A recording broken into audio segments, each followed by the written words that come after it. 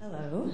Um, thank you all for coming and joining us today. Uh, I'm Lindsay Ernst. I'm an associate director at the Center for Comparative and Public Law.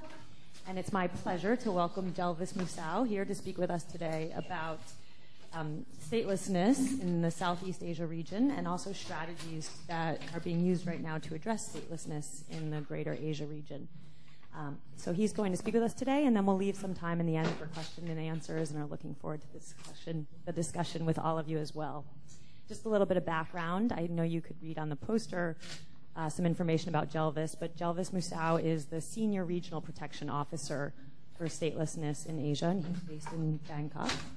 Um, and he's here for the week, speaking at many different locations, and we're very happy to be able to have him speaking with us as well. Thank you.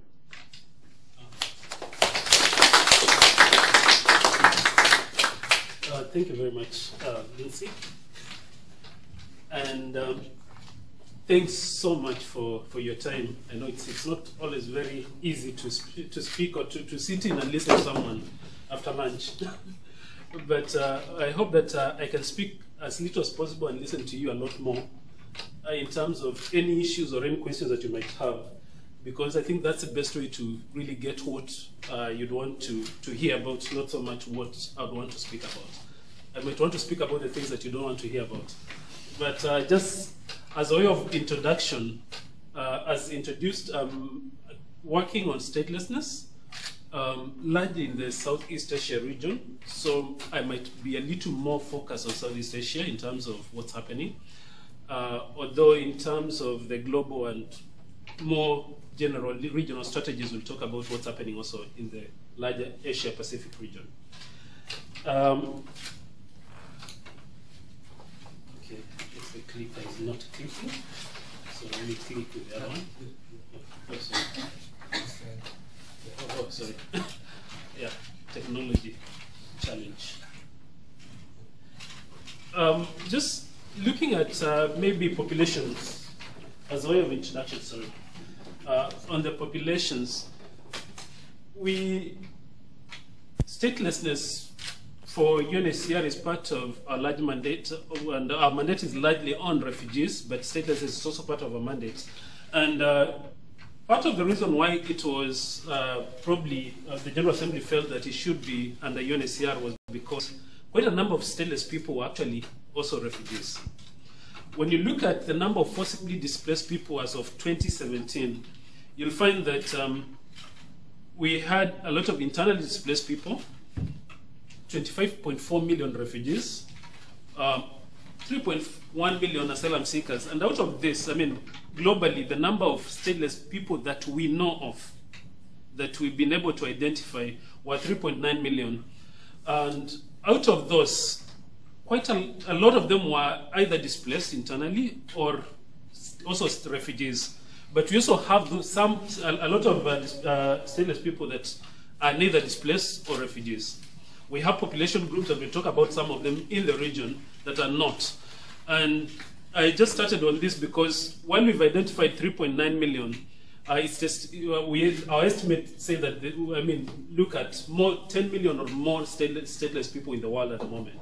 So the estimates that we have have actually very small pro proportion of the total number of stateless people that we have globally at the moment.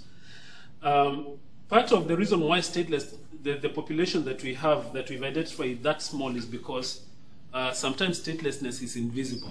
Invisible in the sense that you and I don't really know about people that are stateless because it does not affect us, and the people that are stateless themselves would rather that they were not identified in some of the locations where they live in because identification might sometimes bring about uh, protection challenges for them.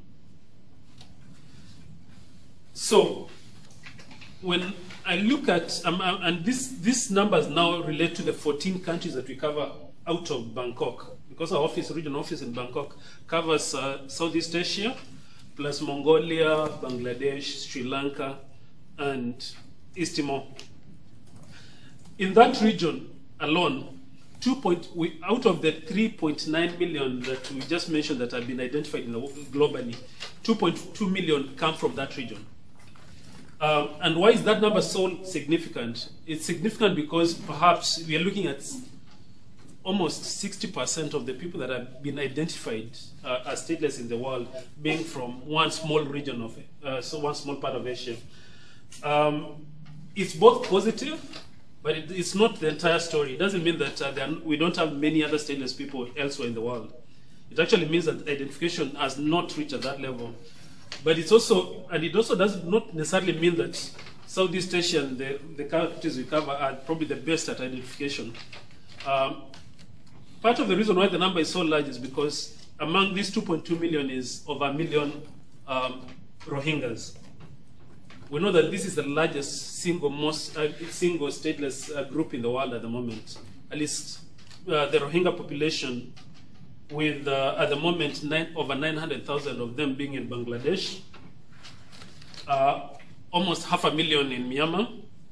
You have around 100,000 in Malaysia, uh, large numbers as well in Indonesia and other countries in the region.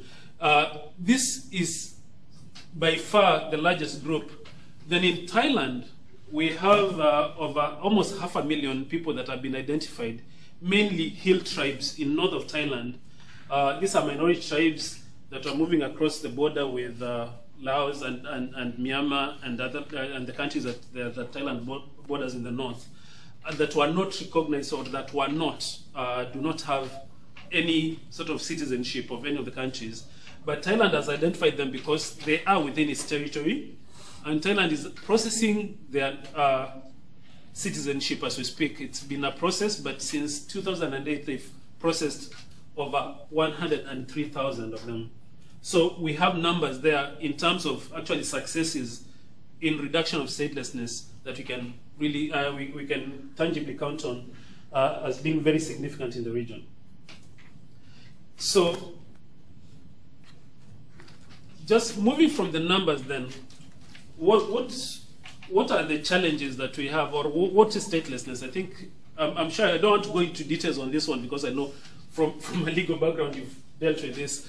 So you know that any person who is not considered as, as, a national by any state under the operation of its law. I've sort of underlined some of the elements of that definition that I feel that are very significant, but I'll not go into the details why they're significant because I think that's something that you probably done. Uh, but just in a nutshell is that we are talking about the present century, present, present sense. We are talking about uh, operation of the law, not necessarily the law as it's written. So sometimes when you talk about some of these populations we are talking about, some of them may, on the face of it, not necessarily come out clearly as being stateless, but then when you look a little too further in terms of how the law has been, uh, has been operationalized in the countries, then you find that they've not uh, been able to, to, to, to uh, gain nationality in those countries. So I'm also not going to the international legal uh, basis, uh, or background basis of, on, on, issues of statelessness of nationality and the law. but in terms of, if you look at, and I'm going to look at this very briefly, and uh, maybe uh, invite any questions you might have later on. If you look at uh, statelessness in Southeast Asia, in, the, in, that in the region generally, not just Southeast Asia, but uh, South, uh, Southeast Asia and the bordering countries, uh, then you look at it probably from four large groups, four large perspectives. Um, firstly, um, and, and the biggest part would be exclusion of minorities, minority groups that are being excluded from nationality or citizenship in the countries where they find themselves. Um, we've seen the Rohingyas. Uh, the Rohingyas were declared under the 1982 um, Myanmar law, nationality law, they actually associate citizens. But then, even in the implementation, implementation of that law, they've not really even been able to, uh, to really gain much in terms of uh, traction to attain that as associate citizenship. Um, in Myanmar law, you have hierarchies of citizenship. You have full citizens, uh, you have associate, you have naturalized citizens. So, in terms of those hierarchies, they're actually th in the third tier, the associate, and um, they don't still have they don't still have access to that. So we could talk about that, but um, that already tells you, as a minority there, they are both a religious and probably even racial minority in Myanmar, uh, being that they are Muslims and even physically they don't look like the normal, I mean, the run-of-the-mill Burmese. Then they, have been excluded uh, probably for those reasons. There have been, I mean, there are a lot of discussions. There have been discussions since 1982 or even before then because the previous laws, the pre, prior to 1982, the 1948 law in Myanmar, sort of identified uh, uh, them as citizens because they had been, uh, the Rohingyas have been living in Myanmar for probably close to three decades or beyond. So it's not, it, it, it's, it's a historical issue, but it's also a, a, a discriminatory issue when it comes to their identity as a minority. Um, Beyond the Rohingyas in the region, then we have, we've talked about the hill tribes, the small tribes in Thailand. In Cambodia, you have ethnic Vietnamese who are a minority. You have also Khmer Kroms, uh, the uh, Khmers in the north, they're also minorities. In Vietnam itself, you also have uh, uh, minority groups along the border with Laos. So there is almost um, a series of or one, one can call almost an, an, issue around minorities in, the, in, in most of these countries. And it's not just in this region alone. Globally, a lot of other stateless people are minorities. At the moment, we've been looking at nomadic communities, which are also minorities, which have also been affected by statelessness. Uh, in between Thailand and uh, Myanmar border, you have Mokens.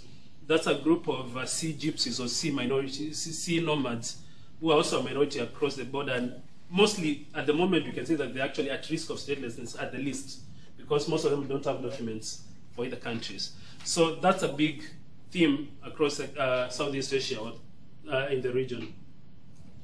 Then you have also groups that have been affected by migration.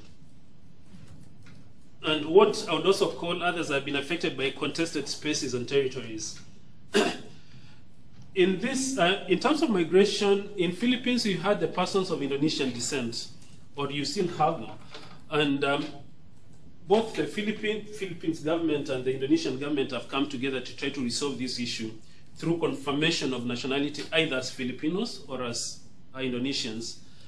But outside of that, in um, the Sabah region, the Sulu uh, sort of archipelago, you have um, Sama Bajaus, who are also sort of sea gypsies. They move across the, the region from uh, eastern Malaysia into Philippines, into Indonesia.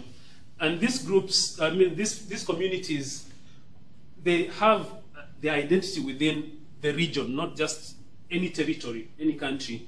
Mostly, a lot of them were living in the sea. They're working, they, they move around uh, in, in search of livelihoods in the sea.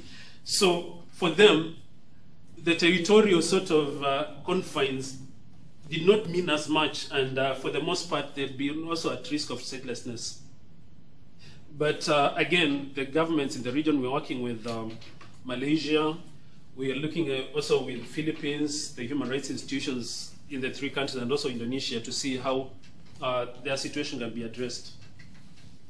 Issues of gender discrimination in nationality laws.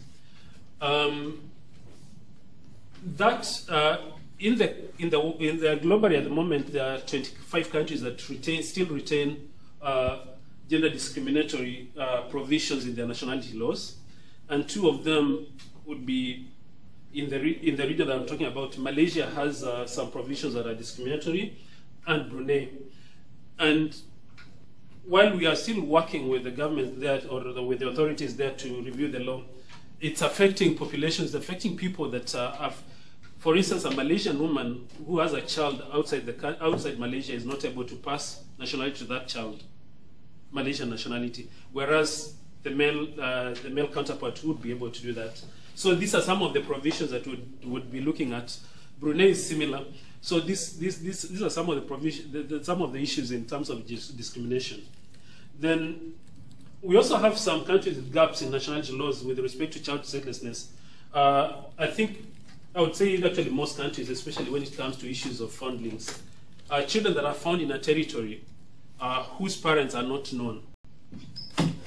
In uh, Philippines, they had a Supreme Court ruling uh, recently when there was a challenge by a candidate for the Senate at the time of presidency at the time. Uh, she had she was a foundling herself, uh, but uh, her nationality was challenged when she ran for office. They were saying that she's not Filipino, but um, the Philipp Philippine Supreme Court ruled that um, any person who's found, any child who is found in Philippines is presumed to have a Filipino parent, and is thus also presumed to be a Filipino by by birth. So that's that's that's I mean that, that's very progressive and uh, that's very positive in terms of Philippines, but it's not a provision that is to be found in on, in almost all I mean in all the countries. Some countries have it that uh, foundlings foundlings in the country, probably people under the age of 12 or whatever age that are found in the country, would be able to be presumed to be nationals of that country. But other countries do not have it, and we, we are working with them uh, to, to see whether we can address these kind of provisions, these kind of uh, uh, gaps in the law. So, I mean, there are other issues in the region, but I would say that this would be the key um, constitutes or the key reasons why we have a bit of statelessness in, uh, in, in the countries that uh, I just mentioned. Then, in terms of the region, what are the broad strategies when it comes to what, what are we doing uh, with these countries? And I've already sort of addressed a lot of that, but uh, at the very general level, uh, we have, uh, because we have like four main pillars that we work with when we talk about statelessness. And these are identification, reduction, prevention, and, and, and uh, protection.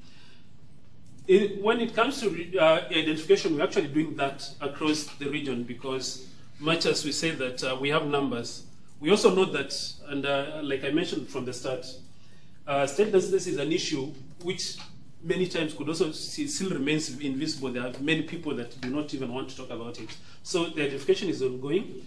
We work with uh, we're trying to work with UNFPA, the, the, that's a UN uh, agency that deals with statistics, sometimes with uh, population statistics, census, and others, and working with countries like Indonesia and others who have censuses coming up soon to ensure that they have questions or they have queries that relate to nationality so that we can be able to identify and see whether there are statelessness issues that are not identified in those, in those countries.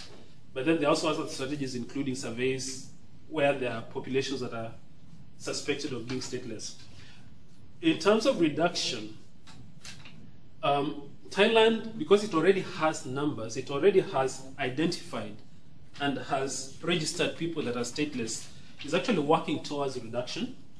Um, as of um, June this year, half of the year, they had already actually processed close to 10,000 applicants for, for nationality, and they, they were able to to, to grant them uh, Thai nationality.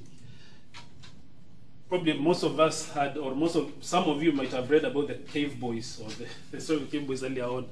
Uh, positives that came out of a tragedy. I mean, these boys were trapped for almost two weeks in a cave, but then it was found three of them were stateless. But later on, they were able to, to be granted nationality. So that's something that we're working a lot in Thailand. In Malaysia as well, we had, uh, they had identified over 12,000 persons of uh, Indian descent, uh, Indian descent who had uh, moved into Malaysia during the colonial period, um, working in the farms and the mines, but they were not uh, granted nationality or they, they've been living there for probably third generation with no nationality.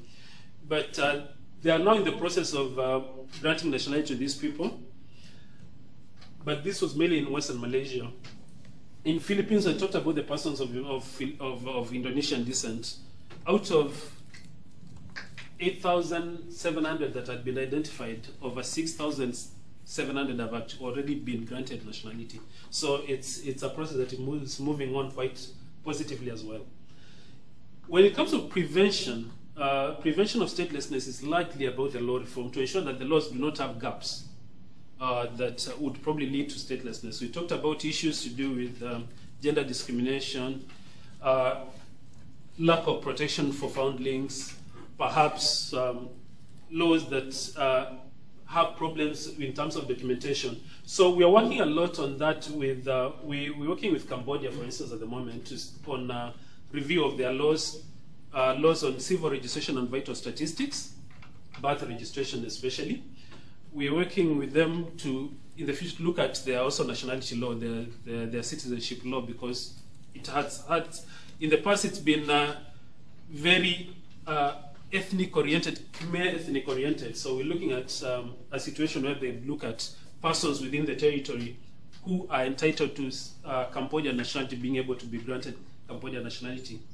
Um, then in Vietnam as well, Vietnam is looking at uh, um, minorities, but also there had been cases of Vietnam, again, issues of laws, gaps in the laws, where in the past the law provided that people that left uh, Vietnam would not be able to, or that women that had been married to non-Vietnamese lost their nationality because you had to denounce your Vietnamese nationality to move to another country or to get another nationality.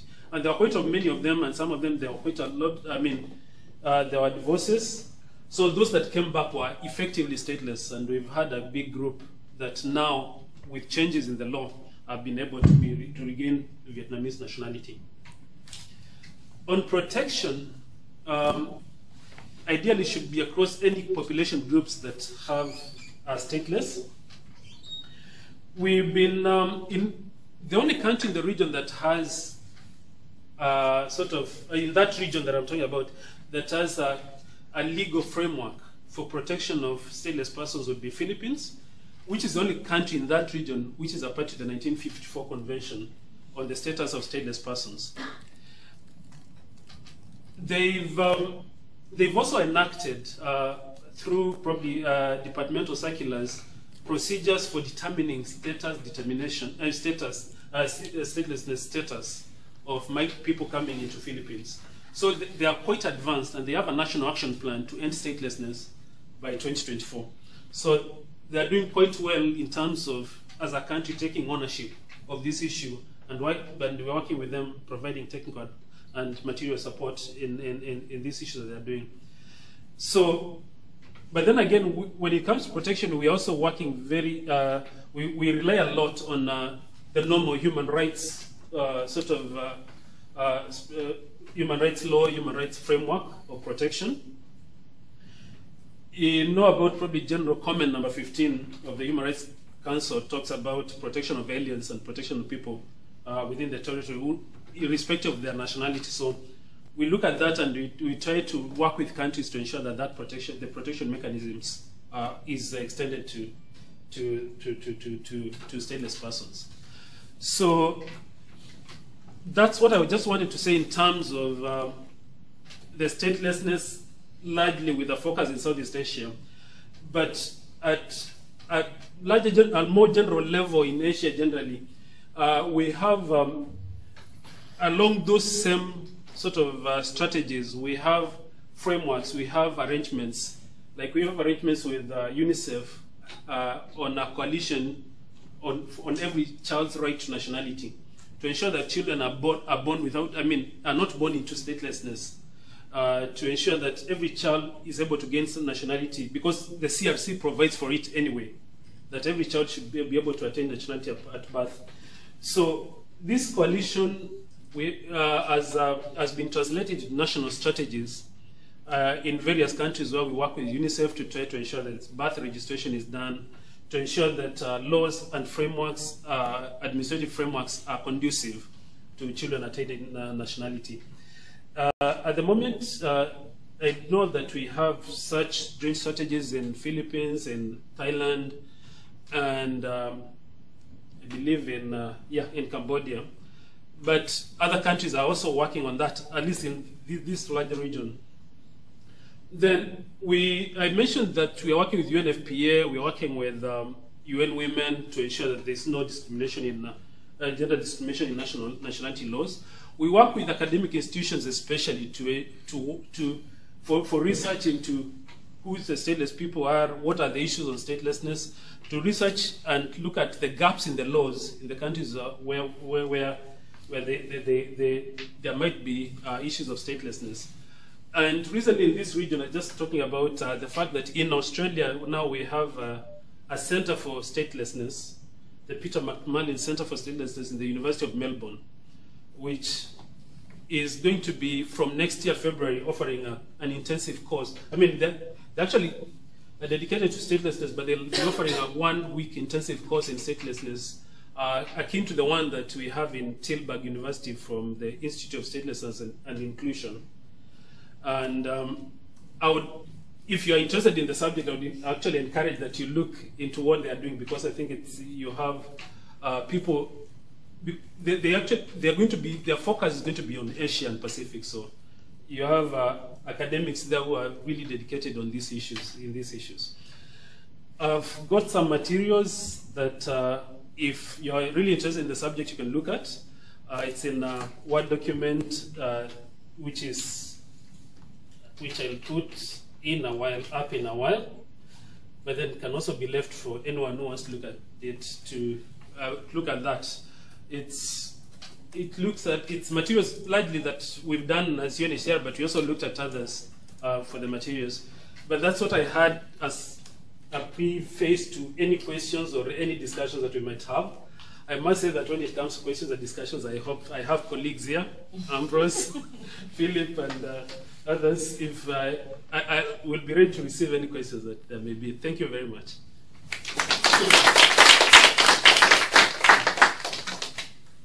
I'll open it up to you all now for some questions. Does anybody have any questions? Do you want to?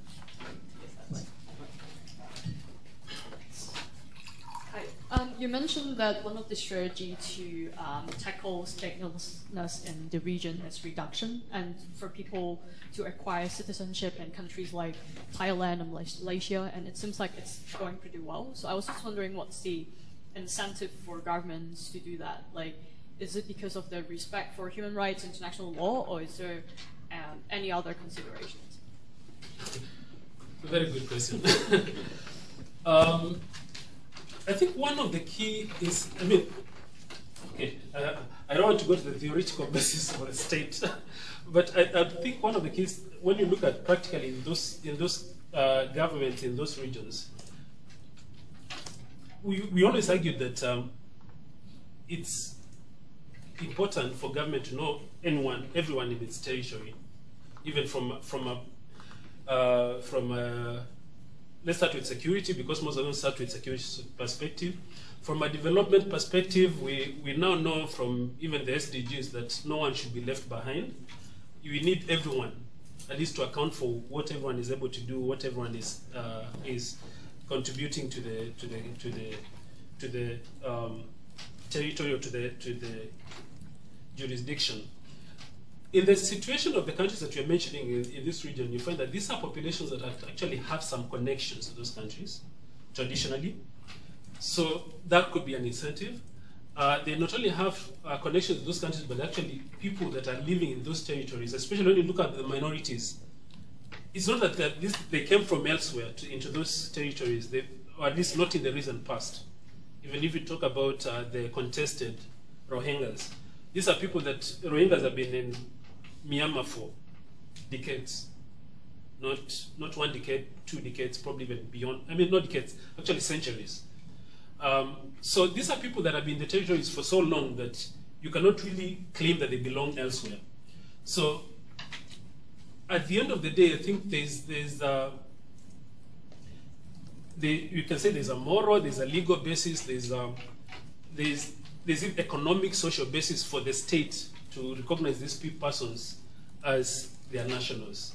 For the most part, when you look at statelessness across the world, it's not so much, and I don't think that it's, it's, it's an issue which, for the most part, has been caused by sometimes discrimination which might be inadvertent, not necessarily very, very, uh, I mean, not, not necessarily something that the government set out to do, uh, sometimes it's been caused by, I mean, most of the reasons have been inadvertent. There are some few situations whereby you find that the reasons have been because probably players in the, the, the government do not want a particular group of people or do not want some particular uh, persons to belong.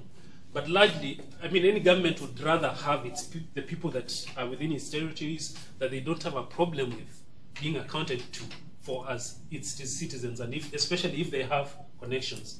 In terms of Malaysia, in terms of Thailand, that's a situation.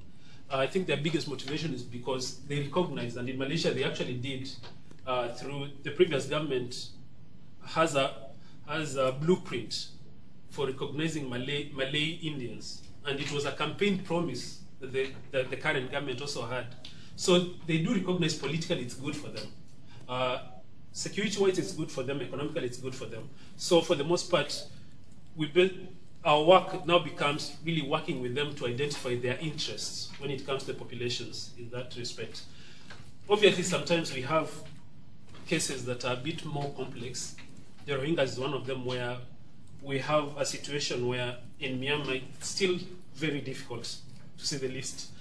Um, it's, it's, it's still an intractable situation, although every player, and in, from the Rakhine Commission report and others, recognize that nationality is, is going to be one of the key reasons to uh, not only peace in the, in the country, but also uh, to, to, to, to, to ensuring that there's development in Myanmar. So I think it's a development issue, it's a political issue, it's in their political interest, it's in their security interest, in their economic interest to, to, to recognize them.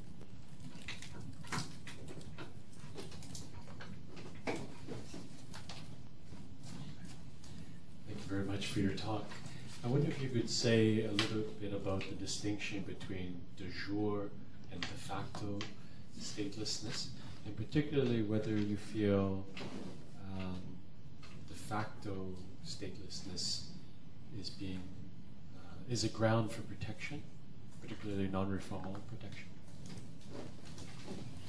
Um, thank you very much. Uh, I'd say a really one, one of the, the questions I was hoping to avoid. not, seriously though. Um, but yeah, I think the, the, the, the distinction really uh, you obviously by law stateless is where it's very clear that the law provides and or the operation of the law is such that people are stateless uh, and, and it's, it's clear in that uh, de, de facto stateless is populations which cannot effectively access the benefits of nationality from the countries which they are connected to. Um, there has been arguments that probably de facto statelessness is not really strictly stateless, stateless. and um, it's a it's an argument which, uh, like you said, and I think you used a very very, in my opinion, the most important aspect of it is protection. If you are not able to gain or to access the benefits of the nationality of your country, I mean this, this, the, the nationality, then you are not able to really gain that protection. But then, if what if that country nominally um, sort of uh, what what if the country nominally recognizes you as its citizen? Does that really mean that you're actually not stateless as such? I think it's something that probably needs to be looked at probably a lot more academically. We were looking at this in the context of uh, sometimes the Afghans in uh, in Pakistan, for instance, or in Iran. Um, you have third generation, second generation Afghans. Afghanistan has never uh, claimed that these are not their citizens. But Afghanistan is both unwilling and some, I mean, mainly unable, but at times even unwilling to provide, to extend protection. A lot of these are refugees for the most part. And they gain protection as refugees, but what if they are not refugees? What if, um, then what would we then have for them? Would we then have a category whereby we're looking at them as people at the risk of statelessness who, are, who then should be protected and should be able to be supported to access the rights and the, the rights that, uh, that, uh, that they should have as Afghan nationals. We've, we've tried to look at it from that context of protection in most of the parts where they are not refugees. Uh, where they are refugees, we try to look at them first and foremost as refugees, which deserve protection as refugees, and who, whose nationality issue comes in only when they are looking at return, the possibility of return. So that now at that point, at the point where we're looking at uh, agreements for return, we, we, act, we actually, for the most part, as UNHCR, ensure that we have a provision for nationality access, access to nationality rights upon return. So that's how we've sort of handled that situation. Uh, but um, the dichotomy is very thin, especially where the country has nominally accepted that these are still its citizens, but it's not able or willing to provide that, uh, that protection.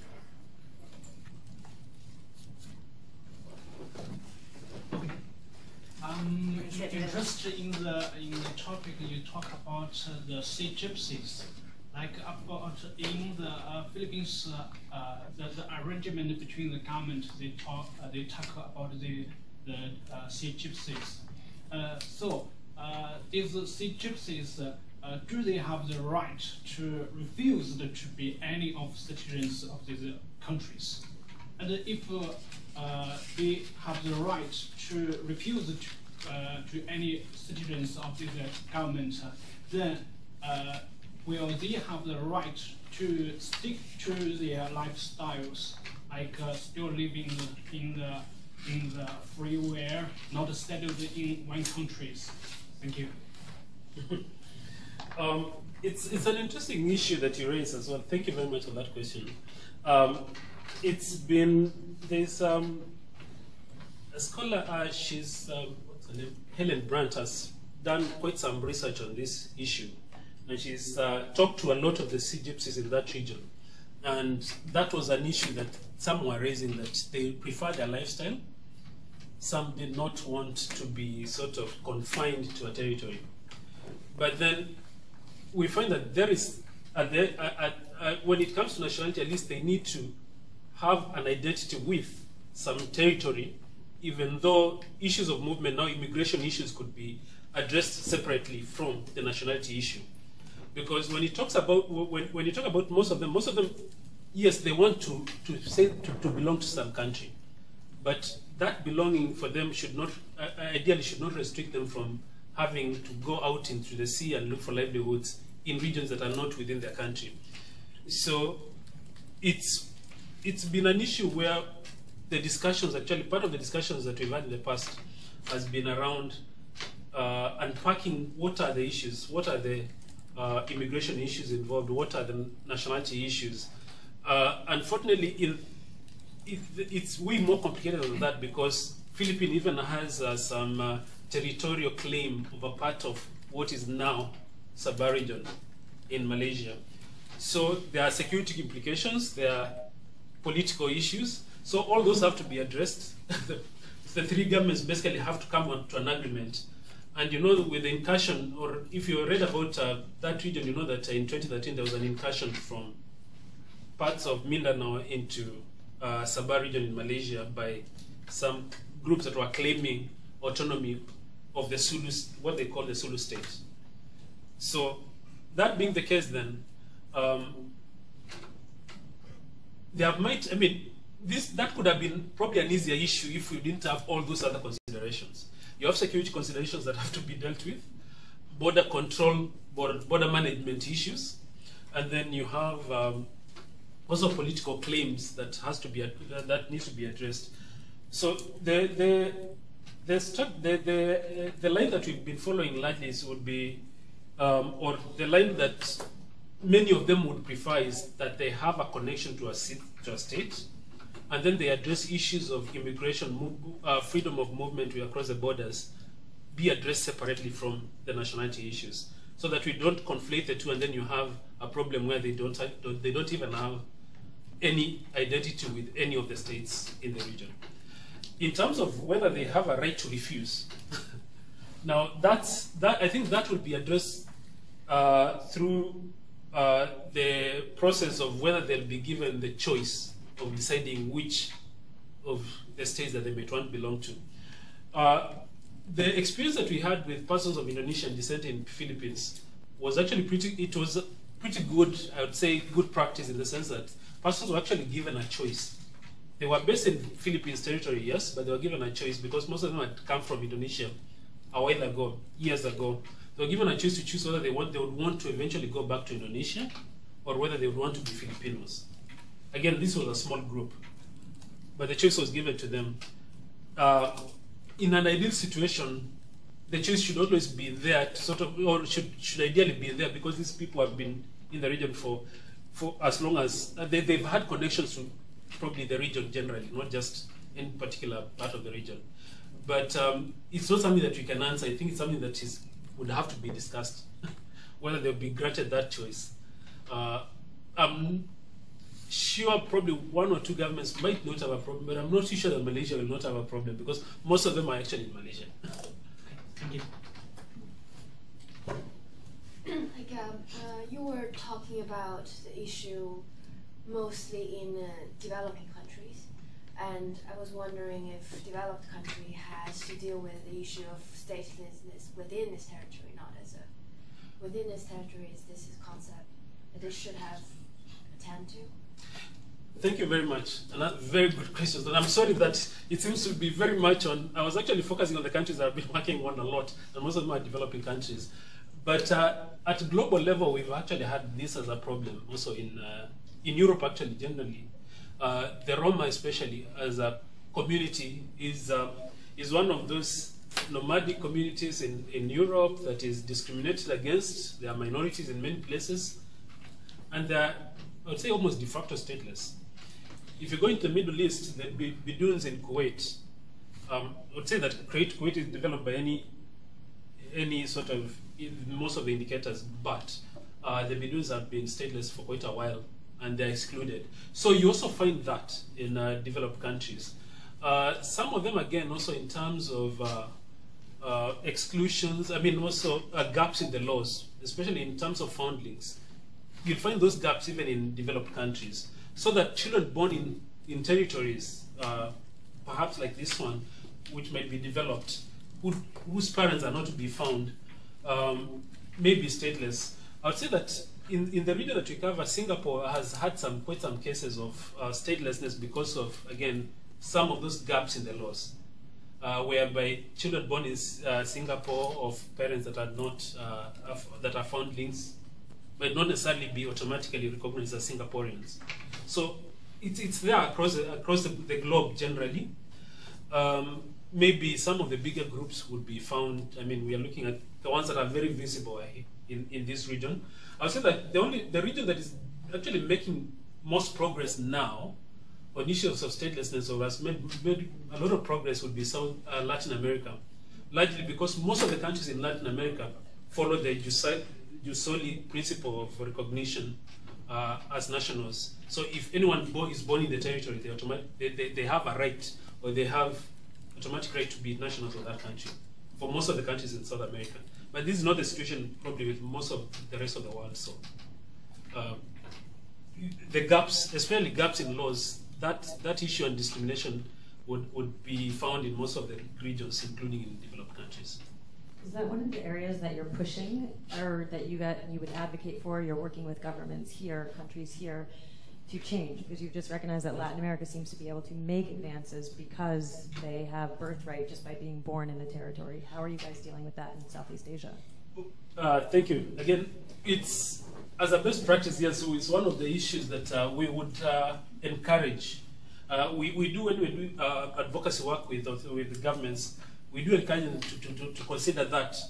Um, we do recognize, again, being an issue that is, I mean, nationality being an issue within the, uh, the sovereign sort of jurisdiction of the state, uh, a lot of countries will argue that probably in their territory, I mean, many of the countries we, we have been a bit hesitant to go that direction. Although when you look at most of the laws in the region, they have a mix of a bit of soli principle, especially upon um, uh, for the people that, uh, at independence, and then jus sanguinis for, uh, subsequently. But we are trying to see, and some of them even had like principles, but they didn't. They decided at some point not to follow it up. So we try to encourage that as much as possible as a good practice.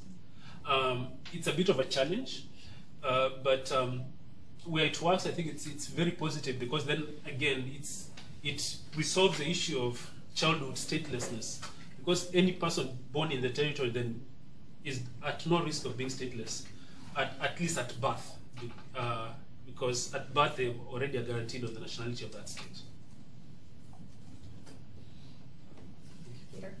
Um, for a refugee claimant who is uh, de jure uh, stateless, and from the uh, perspective of an adjudicator, I'm just wondering what is the most perplexing or difficult legal hurdle for that particular claimant to cross, aside from what you just mentioned already in relation to uh, return?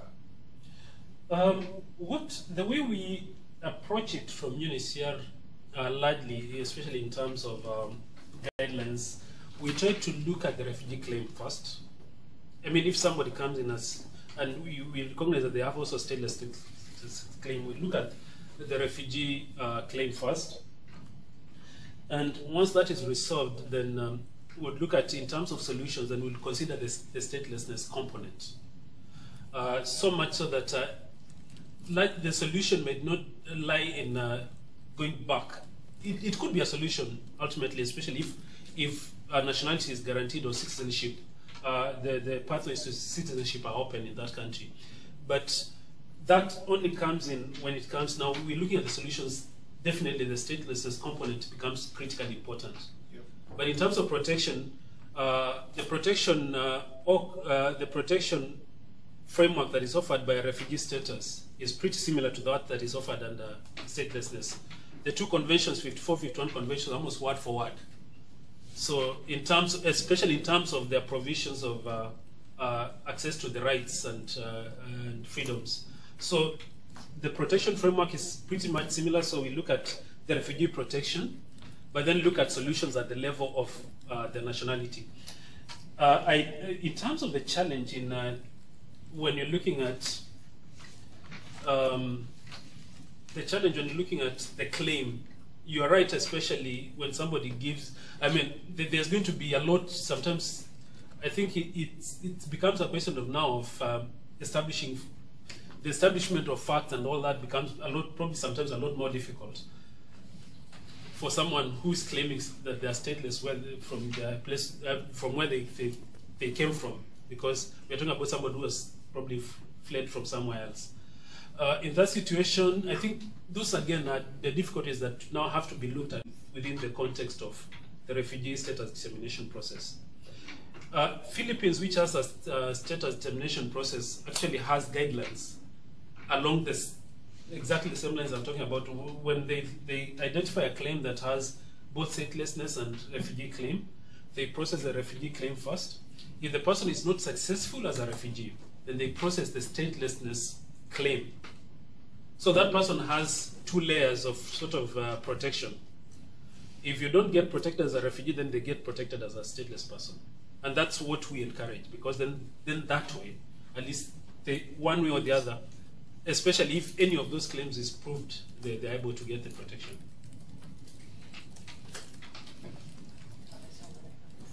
Sorry.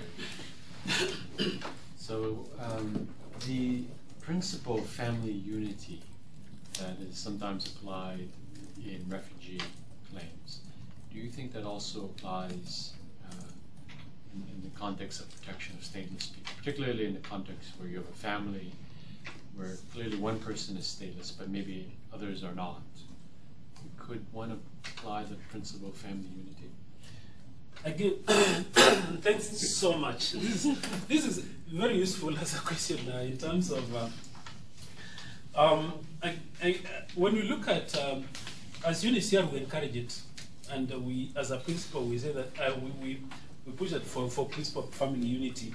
Uh, and family, not unity for uh, for the to, to the detriment of those that have nationality, but ideally unity at the most favorable protective uh, um, status possible, which is obviously nationality. And um, obviously that has its challenges because again, especially in a situation whereby somebody has been uh, stripped of nationality for some reason, it becomes really difficult for the same state which strips this person of nationality to to be the to be one that we can approach with uh, arguments for family unity and to, to probably grant nationality on, for, for this person on the basis of, of, of, family unity. But then in terms of when you're looking at a solution for this person who is stateless, then we'd have to look at it in the context of the family unity. We obviously, and I think part of our law reform is to discourage situations whereby states willingly or states uh, strip uh, arbitrarily uh, deny somebody or strip of nationality from individuals because these are situations whereby you the situation that you described sort of appears a lot more. But we know that it happens, so that's why we also have these principles in terms of uh, protection, where we're looking at uh, looking at the larger human rights uh, framework, looking at the most protective uh, standards, norms available, and trying to apply those in looking for solutions for either the stateless person or at least to ensure that this, uh, the principle of family unity is, is, uh, is maintained.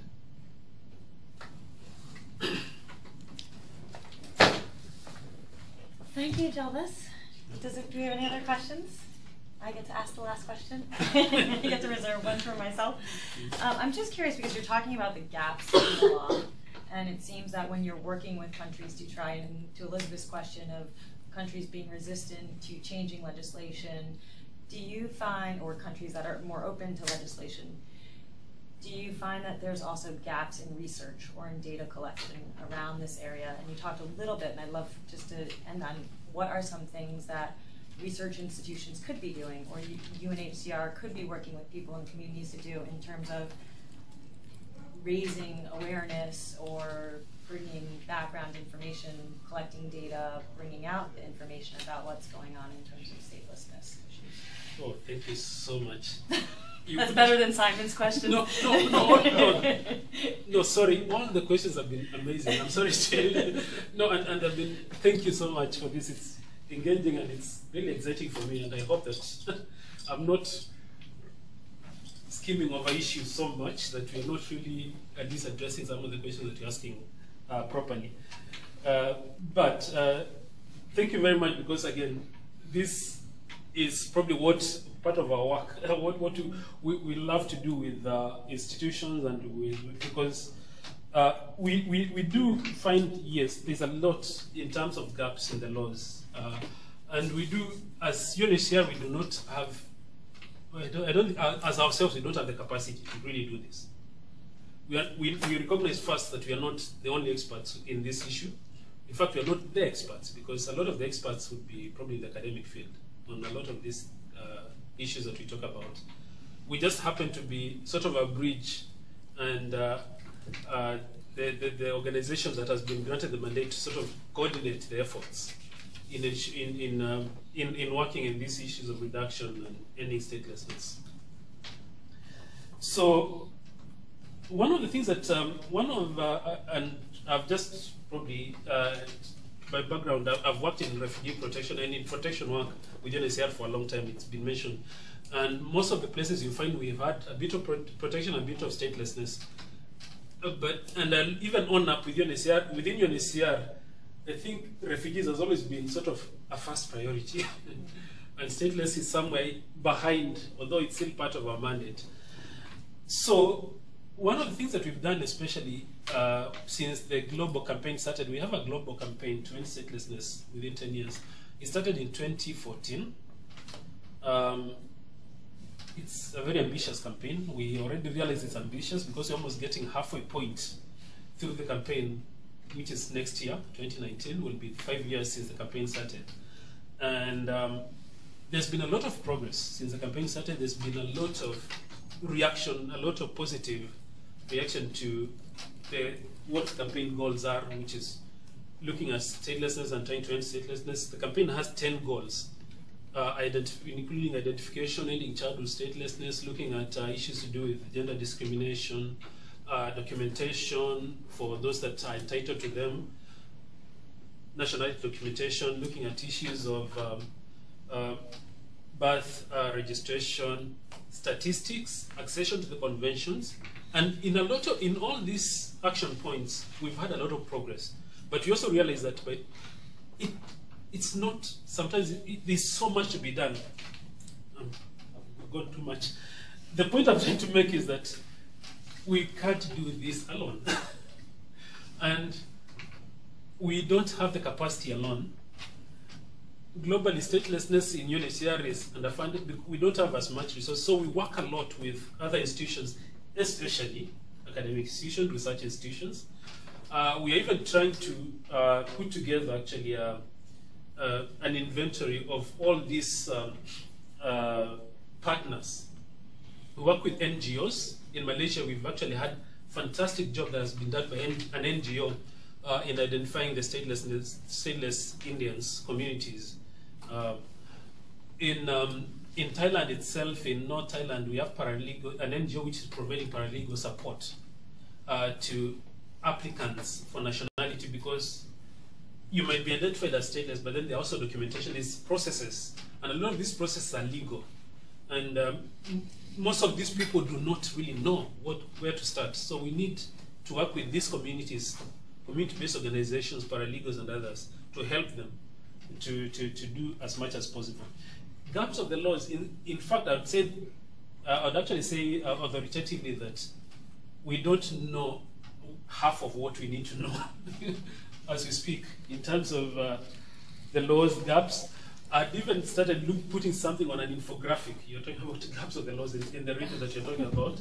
And uh, we would definitely that we work a lot with uh, academic institutions. We've been trying to promote even internships where we can uh, with law students and others to support us in this work, to work with them in this, in, in this area that might be interested. So we're working with academics, in, and academics have been extremely instrumental sometimes in, in advancing research, which has helped our advocacy with governments for them to know that this is not a dangerous issue. You're dealing with actually development. You're dealing with security. You're dealing with the people, populations in your territory that you need to know of so that you can be able to do this and this and this and this.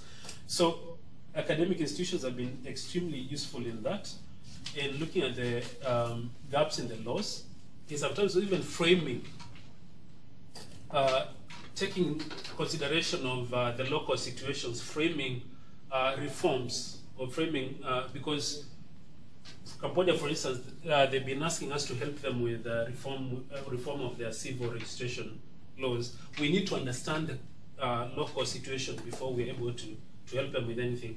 We might have best practices that we could share from different locations across the globe, but then we also need to look at peculiar situations in the different, in the different and, and that's sometimes the role that is played by researchers within those countries, or researchers looking at the re regions rather than looking at um, uh, the glo global picture.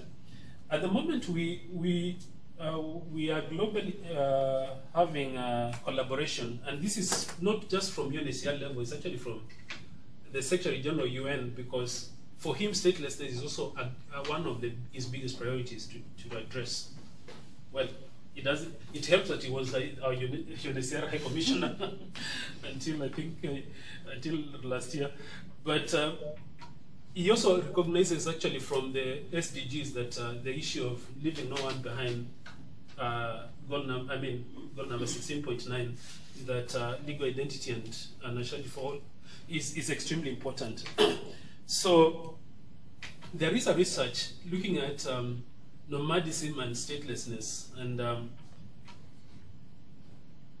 this research is being uh, carried out uh, in collaboration with the university I just mentioned, University of Melbourne.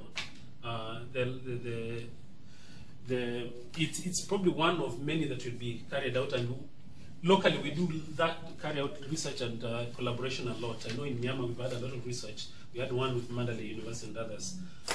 Despite the fact that in Myanmar they have very limited space for research. Even the universities, I mean, they are, bit, they are quite restricted. But we do have research institutions and we do work with them quite a lot because then we are able to actually have evidence facts, data that we can use in terms of in our advocacy, and even in terms of uh, uh, working with countries themselves that might want to effect change in their policies, in their administrative processes, in their laws. So extremely, extremely important. Um, and that's why for us, this is probably one of, I mean, especially my role, this is one of the most important engagements, being able to engage with the uh, academic institutions and uh, uh, getting uh, your input, your views, your your because mostly your objective because mostly I mean from the academics you get things objective facts. You don't it's not the same sometimes where advocacy it's all about the emotional reaction to the situation. So this becomes extremely important, and uh, we would really appreciate working. with you. Thank you. Thank you, Jelvas. And I do just want to conclude on that. I see all of you here, and I think Jelvas's response to this last question is really important for all of us to think about. And that I'm looking around and I see colleagues and pro bono lawyers who I've worked with and students. And UNHCR does welcome and appreciate any support and ways that everybody can contribute. And I know that we've had students who've done internships with UNHCR. And UNHCR is still always op- open and looking for interns from here, so I do welcome all of you to reach out to me if you would like contact information or information. And also, UNHCR has worked with us on doing a stateless report about the gaps in the law in Hong Kong, which UNHCR is now using. So please do continue to think about the ways that you can get involved and do reach out to us at the Center for Comparative and Public Law or at UNHCR to get involved and work on this issue. So thank you, Jelvas. Thank you very much.